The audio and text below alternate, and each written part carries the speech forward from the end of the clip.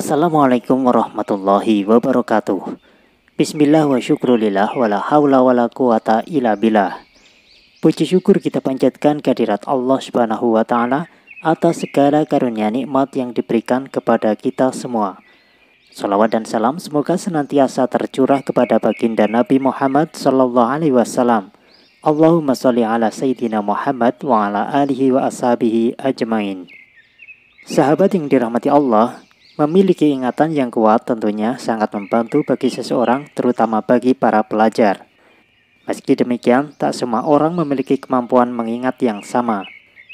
Pada kesempatan kali ini, kami akan berbagi amalan doa agar kita dianugerahi ingatan yang kuat dan dengan demikian kita akan lebih mudah dalam menimba suatu ilmu atau belajar. Namun sebelum kami sampaikan bacaan doanya, silakan Anda subscribe terlebih dahulu ya, agar channel ini bisa semakin berkembang. Mohon doa kepada para pemirsa, semoga saluran ini bisa turut menebarkan manfaat dan kebaikan bagi banyak orang. Amin. Sahabat yang dirahmati Allah, berikut ini adalah doa untuk memperkuat ingatan dan agar dimudahkan dalam proses belajar. Bismillahirrahmanirrahim.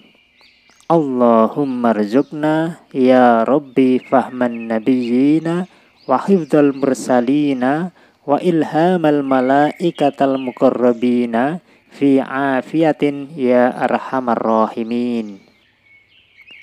Artinya, ya Allah, karuniakanlah kami paham para nabi dan hafalan para rasul, serta mendapat ilham para malaikat yang dekat denganmu, juga karuniakanlah kami kesehatan, wahai maha penyayang.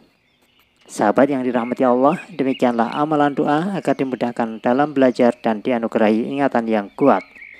Jika menurut Anda apa yang kami sampaikan ini bermanfaat, silakan Anda bagikan kepada saudara atau sahabat yang lainnya.